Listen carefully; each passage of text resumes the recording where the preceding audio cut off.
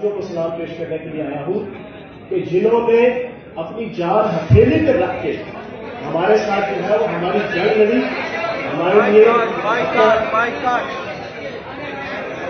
thank you very much thank you very much आप जा सकते हैं प्लीज़ जा सकते हैं. जा सकते हैं आप. जा सकते हैं आप please thank you very much अगर आप मसाइल नहीं सुनने आए तो आप जा सकते हैं. ये सोच पैदा करने वाले इदारे हैं।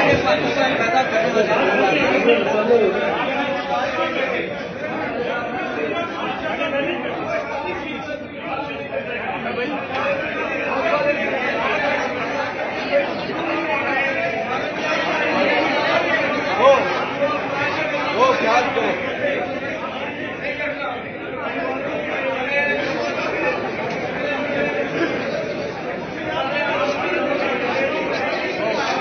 हाँ जी अगला कौन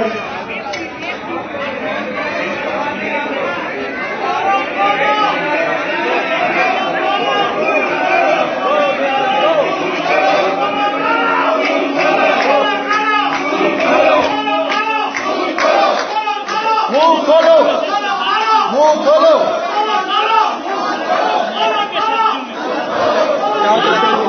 बैठा है और लोग एहतजाज कर रहे हैं सारे स्कूल वाले मैं मैं तमाम दोस्तों से, मैं तमाम तमाम दोस्तों से गुजारिश करता हूँ। तमाम दोस्तों से गुजारिश करता हूँ कि तशरीफ़ रखें। तशरीफ़ रखें, इंशाल्लाह ताला तालीमी इदारों की बात भी होगी। क्याम चाँद साहब ने जो कहा, क्योंकि आज का दिन, छह सितंबर का दिन है शोधा को खराज अकीदत पेश करने का दिन है। तालीमी ज़ाहिर बात है कि फौज हमारी सरहदों की मुहाफिज है, लेकिन ये निजी तालीमी इदारे हमारी नजाती सरहदों के मुहाफिज है। इसलिए आपसे गुजारिश है कि हाथ जोड़ के, गुजारिश करता हूँ कि शायद खुदा के लिए तशरीफ़ फरमा इमरान साहब हम फौजी बनाते हैं हम उन्हें मसलियत देते हैं हम होगा तो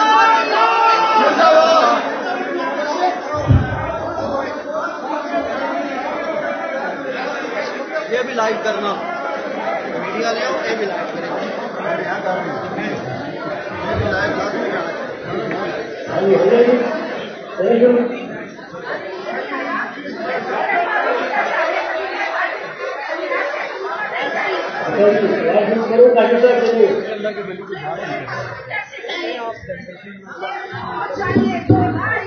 प्लीज़ मैं आपसे रिक्वेस्ट करता हूँ अदीब जानी की तंजीम की खासा ये है एक मिनट प्लीज़ प्लीज़ एक मिनट प्लीज़ एक मिनट बैठ के मेहमान की इज़्ज़त हम लाजम है मैं बाशिया के दीप जानी के बेटे के आपसे रिक्वेस्ट करता हूँ बैठ के हम यहाँ पे तलीमी बात ही करने आए हैं हम जो यहाँ पे काम कर रहे हैं, हम तक पहुंचाएँगे। ये हमारा वादा है। मैं पहुंचाऊँगा, मेरे आपसे वादा मेरे अपने वालिद साहब से वादा लेकिन प्लीज़ हमारी तंजीम की इज़्ज़त का ख्याल रखें और जो एक गेस्ट हैं, उनकी इज़्ज़त का ख्याल रखें, ये हमारा टीम भी कहता है। थैंक यू मैं हैरान हूँ कि आप सारे एजुकेशनिस्ट हैं और मैंने भी अल्लाह पाक की तरफ़ से ज़बरदस्त यूनिवर्सिटी कॉलेज तालीमी इदारे सारे हैं।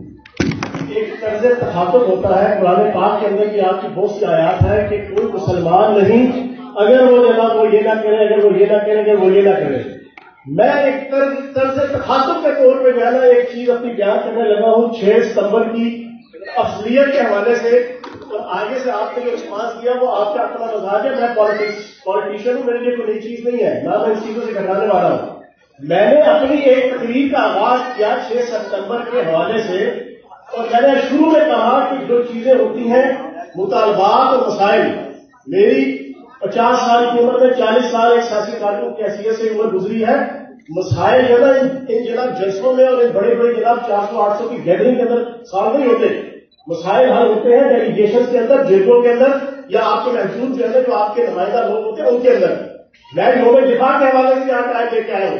मैंने अगर एक दिन पहले रात को एक दिन भी नहीं चौबीस घंटे भी नहीं सोलह घंटे भी नहीं दस घंटों के अंदर अगर मैंने टाइम दिया है तो छह सितंबर और योम दफाई पाकिस्तान के हवाले से टाइम मुझे दिया गया था। मैं उसको खातिर करने लगा हूँ, आगे से जो आपको जस्टिस दिया है, वो आपका जस्टिस है। मुझे कोई गलत नहीं है। मैं इन चीज़ों से घबराता हूँ। मैं जिस गुजरी माँ की गोद में पल के जवान हुआ हूँ, उसने मुझे अपने मुल्क अपनी कौम और अपने मज़हब के साथ हिम्मत जुरत हौसले और बदले के साथ बात करना सिखाया हुआ है। मैं भी आपके खिलाफ यह बात नहीं कर रहा था ये आपका अपना सेंस है कि आपने इसको किस अंदाज से ले लिया? मैंने अपनी गुफ्तू का आगाज़ किया था और उसको मोमेंटम बांधा था अपने गुफ्तू का योम दिफा के हवाले से। बाद में मैं यहाँ आया हूँ तो मैंने आपके हवाले से बात करनी है। आपके मसले के हवाले से भी बात करनी है। लेकिन आवाज़ ये किया लेकिन आपने अपना अच्छा एटीट्यूड शो नहीं किया, ये भी मैं आपके सामने रखू लेकिन, कोई बात नहीं, सियासत का लगे दम मिटे रम तारा रम पम पम लगा रखा है। कभी जेल, कभी तेल, आगे गाड़ी, पीछे रेल, हमारे लिए न्याय नहीं है। फिराज हसन चौहान के लिए नया नहीं है। बाकी किसी पॉलिटिशियन के लिए कोई नया होगा। मैं यहाँ पर अफवाज पाकिस्तान को खराज तहसीन पेश करने के लिए आया हूँ। मैं छह सितंबर योम दफ़ा मनाने आया हूँ। मैं दस घंटे के माध्यम पर तमाम लीगल कोडल प्रोटोकॉल की जो जनाब रिक्वायरमेंट्स होती है, मैं उनको जूते की नोक रख के अगर आया हूँ तो अफवाज पाकिस्तान के शौदा के खिलाफ पेश करने के लिए आया हूँ। सियाचिन के बॉर्डर के ऊपर शुमाली वजीरिस्तान के बॉर्डर के ऊपर, समाज के ऊपर और उन्नीस सौ पैंसठ और उन्नीस सौ इकहत्तर और उन्नीस सौ अड़तालीस के जो शहीदों को सलाम पेश करने के लिए आया हूँ। आप भी और मैं भी, सारे यहाँ उस मकसद के लिए मौजूद हैं। मसले यहाँ हल होते रहते हैं। मसले हर किसी एक बंदे का काम नहीं है, किसी हुकूमत का काम भी नहीं है। और मुझे यह भी मत बताया कि हुकूमत किसकी आई, किसकी गई। हमने अपोजिशन भी देखी, हमने जेलें भी काटी, मारे भी खाई। हमने सारी चीज़ें देखी हुई है। ड्राइंग रूम का पॉलिटिशियन नहीं हूँ। ना अपने बाप दादा के नाम के ऊपर सोने का चम्मच लेके पैदा हुआ हूँ और आपके असेंबली के अंदर बैठ के मिनिस्टर बन गया हूँ। हमने गली महलों के अंदर मारे खा के झूठे तीन सौ दो, तीन सौ सात हवालाते खून पसीना एक करके यहाँ तक पहुँचे हैं। हमें पता है इमरान साहब, कि हुकूमत आनी जानी चीज़ें होती है। हुकूमत इकदार सदा सिर्फ़ अल्लाह पाक की जात का है। सिर्फ़ सिर्फ़ अल्लाह पाक की जात का है। इसका एहसास मुझे है। मैं जानता हूँ, मैं किसी जागीरदार का बेटा नहीं हूँ। मैं किसी सरमायादार बड़ेरे का बेटा नहीं हूँ। मैं उस की औलाद हूँ जिसने इस पाकिस्तान के अंदर अपना तन मन धन लगा के कंप्यूटराइजेशन इंट्रोड्यूस करा के आपके एजुकेशन डिपार्टमेंट के अंदर अब्दुल अज़ीज़ खासान जिसका नाम है, जिसने अपनी ज़िंदगी के 40 साल पाकिस्तान के अंदर एजुकेशन के अंदर ऑटोमेशन और कंप्यूटराइजेशन को पहली दफ़ा इंट्रोड्यूस करवाया है, उसने कारनामा संज्ञान दिया हुआ है? हम मिडिल क्लास के अपर मिडिल क्लास के वो लोग हैं कि जिन्होंने इस पाकिस्तान की धरती मार के लिए कुर्बानियाँ दी हुई है। हमें पता है कि पाकिस्तान क्या है? हमें पता है कि धरती माँ क्या है, हमें पता है कि एक गरीब फर्द के जो एक 200 बच्चों का स्कूल चला रहा है, उसके मसले मसाइल क्या है। लेकिन आप भी अपना एटीट्यूड ठीक करें। आप भी क्या गली मोहल्ले के क्या ताजर रहनुमाओं की तरह वो ट्रेडिशन ट्रेडर्स एसोसिएशन की तरह या दूसरी एसोसिएशनों की तरह का एटीट्यूड ना रखें। आप उस्ताद हैं। उस्ताद के एटीट्यूड का मतलब थोड़ा सा डिफरेंट होना चाहिए। फौरी तौर पर फ्लेयर अप हो जाओ तुम सियासतदानों में आपको क्या फ़र्क है? फौरी तौर के ऊपर जनाब बोला हो जाए तो फिर मेरे में और आप में क्या फ़र्क है? फिर पॉलिटिशियन में और में क्या फ़र्क है? कुछ ना वाला ना इस तरह है। बाजी, मैंने जो बातें करनी थी, कर दी बात आखिर में लंबी चौड़ी मैंने बातें करनी थी, लेकिन आप मेरा ख्याल उसका नहीं बनता सिलसिला। मैं काशिफ साहब के साथ बैठूँगा।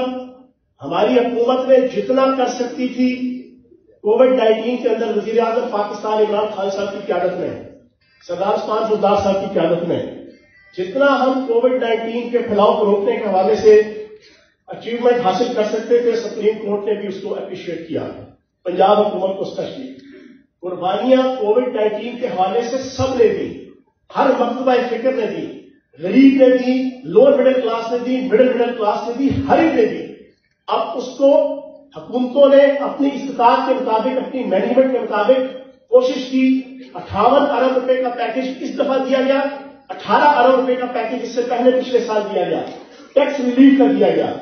उसके अलावा भी जो जितने लंबी चीज़ें वो यहाँ पे बयान नहीं हो सकती। लेकिन मैं आपके साथ बैठूँगा आप डॉक्टर मुराद राज साहब के साथ मीटिंग करें। आपने मेरे ज़रिए से उसे कोई मैसेज देना है। आप अपना जनाब चार्टर ऑफ़ डिमांड दें। लेकिन आज 6 सितंबर के दिन आपने गलत चूज़ किया था जनरल चीज़ के हवाले जगह मुझे बनाया था। अगर किसी भी सरकारी मिनिस्टर को बुलाना था 6 सितंबर हमारी शान है। वो शान है कि जिस दिन उस इंडिया के जनरल ने कहा था कि हम लाहौर जिम खाना में जाके जो है वो शराब उड़ाएँगे अगले दिन सुबह। लेकिन पाकिस्तान के जरूरतमंद अवाम, जरूरतमंद लाहौरियों ने और जरूरतमंद पाकिस्तान की फौजी जवानों और अफसरों ने उसका वो खाक और उसका वो नशा तोड़ दिया था। आज का दिन हमें उन्हें खराज तहसील पेश करना है। आज का दिन हमने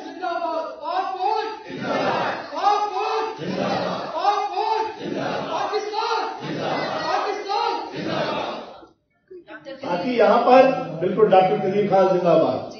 और फिर अगला नारा आती है। सारे जो नारा लगाएँगे आपके साथ नारा लगाएँगे इंशाला जो पाकिस्तान के लिए पाकिस्तान के लिए जो अपना तन मन धन लगाएगा हम उसके साथ खड़े हैं। जो पाकिस्तान की तरफ़ बुरी नज़र से देखेगा हम अमन के खाहा है लेकिन ये अहले दुश्मन याद रखें ये पाक वतन है जान अपनी और जान तो सबको प्यारी है। ये हमारी जान है। और जान सारों को प्यारी होती है, सबको प्यारी होती है। अपने पे आ जाए तो फिर कोई आगे पीछे दाएँ बाएँ ऊपर नीचे किसी को लिफ्ट नहीं कराता अपनी जान पे आ जाए। तो जब हमारी जान पाकिस्तान है तो हम किसी इंडियन रॉ की गोद में पलने वाले इजाज़त नहीं देंगे कि वो पाक फौज के हवाले से, पाकिस्तान के हवाले से और हमारे पाकिस्तान के हवाले से कुछ साजिशें करें। अभी पिछले दिनों साजिश हुई सी पैक के हवाले से। पिछले दिनों साजिश हुई, पाकिस्तान के एक रिस्पेक्टेबल पर्सनैलिटी के खिलाफ। उसमें इंडियन लॉ का वो डायरेक्टर गौरव आर्या जिसने बुनियादी किरदार अदा किया और फिर पाकिस्तान के अंदर बदकिस्मती से मैदान सहाफत के उन गद्दार किस्म के कुछ लोगों ने उसको हवा देने की कोशिश की और बाद में जलीलो खार हुए। वही गौरव आर्या है, जिसने आज से तीन साल पहले मैं और वो इंडियन चैनल पे इकट्ठे बैठे थे और इन्होंने एक झूठा सा ड्रामा रचाया था। पाकिस्तान के अंदर सर्जिकल स्ट्राइक का और बड़ा प्रोपोगेंडा किया हुआ था उस वक्त कि हमने पाकिस्तान पर सर्जिकल स्ट्राइक कर दी, पाकिस्तान ने सर्जिकल स्ट्राइक कर दी। मैंने इंडियन चैनल के अंदर बैठ के किसी मेजर गौरव आर्या सबक डायरेक्टर इंडियन राज अभी भी उनकी सर्विस पे है, मैंने उसको और राग गोस्वामी जो उनका सबसे बड़ा तासुर पसंद एंकर है, मैंने कहा तुम किसको सर्जिकल स्ट्राइक कह रहे हो? शायद तुम उसको सर्जिकल स्ट्राइक कह रहे हो जो तुम्हारे सत्तर करोड़ इंडियन वॉशरूम और बाथरूम ना होने और शौचालय ना होने की वजह से सुबह इस बाउट के खेतों में और आपकी जनाब रेत की पटरियों में जाके करते हैं। शायद उसको तो सर्जिकल स्ट्राइक कहते हो। तुम्हारी ऐसी की कैसी भी तुम्हारी ज़रूरत हो कि पाकिस्तान के एक इंच अंदर दाखिल होकर तुम कोई सर्जिकल स्ट्राइक कर सको। पाकिस्तान की फौज दुनिया की टॉप फाइव फौज में से एक है। पाकिस्तान की फौज और इंडियन फौज में ज़मीन आसमान का फ़र्क है। दुनिया में सबसे ज़्यादा खुदकशियाँ फौजी एहलकारों और अफसरों की इंडियन फौज के अंदर है। दुनिया में सबसे ज़्यादा अपनी फौज से भागना और भगोड़ा होना, चाहे वो अफसर हो, चाहे वो एहलकार और जवान हो, सबसे नंबर वन इंडियन फौज है। और दुनिया की सबसे नंबर वन फौज के जिसके फौजी अफसर और जिसके एहलकार सीना तान के कहते हैं कि हमें बॉर्डर के ऊपर खते अव्वल में भेजो वो पाकिस्तान की फौज है।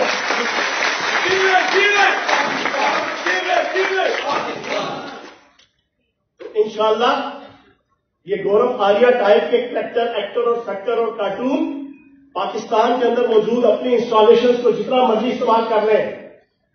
कोई पाकिस्तान के मुहब वतन रहनुमाओं को, चाहे वो मुहब वतन रहनुमा आपके स्कूल एसोसिएशन के हो, चाहे मुहब वतन रहनुमा सियासतदान हो, चाहे मुहब वतन रहनुमा आपकी फौज के और आर्मी के लीडरान हो, चाहे मुहब वतन रहनुमा पाकिस्तान के मीडिया के सहाफत के जना वो, जना शहसवार हो, चाहे वो किसी भी शोबा ज़िंदगी के मुहब वतन पाकिस्तानी रहनुमा हो, उनकी इज़्ज़त और वकार को कोई डैमेज नहीं कर सकता। यही आज छह सितंबर योम दफ़ा के ऊपर पूरी पाकिस्तानी कौम का ये पैगाम है। और यही पैगाम है कि वतन, तूने पुकारा तो लहू खोल उठा, तेरे बेटे, तेरे जाबाज चले आते हैं।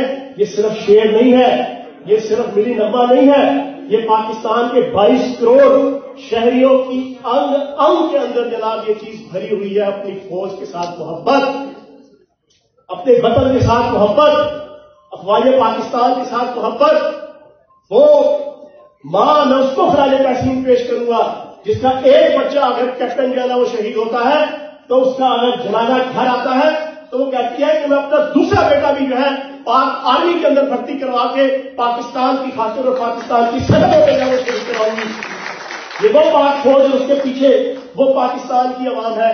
ये भगोड़ों की इंडियन फौज नहीं है, ये खुदकशियाँ करने वालों की इंडियन फौज नहीं है। ये वहाँ पर रोना रोने वाले हर दूसरे दिन वो आपका आया होता है जनाब, कोई ना कोई क्लिप। इंडियन फौजी रो रहा है कि जनाब, चार दिन हो गए सर रोटी खाने नहीं दी बॉर्डर में भेज दिया है फला कर दिया फला कर दिया। कोई आपको अल्लाह पाक की तरफ़ से हमारी फौज के किसी जवान और अहलकार की, किसी सरहद के ऊपर, किसी रेगिस्तान में, किसी पहाड़ में, कोई ऐसी आपको अल्लाह पाक की तरफ़ से क्लिप नहीं मिलेगी। क्यों? कि वो अल्लाह उसके रसूल को मानकर, जज्बा जिहाद से सरशार होकर, सोनी धरती से प्यार और मोहब्बत करने वाले लोग होते हैं। वो तनख्वाह के लिए काम नहीं करते, वो अपनी धरती माँ के लिए एक जज्बे के लिए वो यहाँ पे काम करते हैं। तो इंशाल्लाह अपनी बात का इख्ताम करते हुए मैं काशिफ अदीब जाफदानी साहब को और चौधरी फुरखान साहब को मैं गुजारिश करूँगा कि वो एक डेलीगेशन बना के मैं कल इधर ही हूँ। आप अपने पाँच छह बंदे कल मेरे दफ्तर आ जाएँ ठीक है जी पूरा अपना जितनी आपकी चीज़ें हैं जो आपको जरा पोस्ट कोविड नाइन्टीन जो आपके मुतालबात हैं, वो आप लेकर आए। उनको सारा डिस्कस करने के बाद फिर जो मेरे बस में होगा वो इंशाल्लाह जनाब मैं और अपनी बात का इख्ताम जिंदाबाद जिंदाबाद। एक बात, आखिरी चीज़ आखिरी चीज़। अल्लाह फ़िक्र रखे, अल्लाह इज़्ज़त रखे बाहर लगे रहे। तो मैं हूँ मैं दिल पे लेने वाला नहीं हूँ। आप मैं खड़ा हो गया आराम से। मेरे भी नई चीज़ें थी जिंदाबाद जिंदाबाद। अच्छा आखिरी चीज़ सारे मिल के नारा लगाएँगे। पाकिस्तान। जीवे जीवे पाकिस्तान। चुप चुप जीवे। पाकिस्तान। राज दुलारा। पाकिस्तान। आँख का तारा पाकिस्तान। हम सबको प्यारा। पाकिस्तान। questão. Nós